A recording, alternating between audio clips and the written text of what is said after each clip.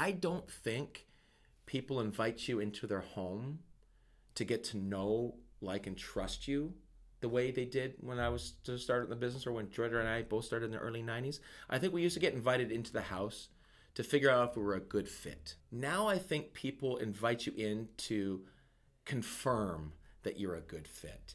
I think know and like are happen online or in videos or in a blog post or in a, a, recommendation from a friend. Trust still thinks happens belly to belly, but know and like has to happen happen somewhere else. So if the consumer doesn't have the ability to get a sense of who you are or what it might be like to work with you, which is brand, then I don't think you have a shot at trust.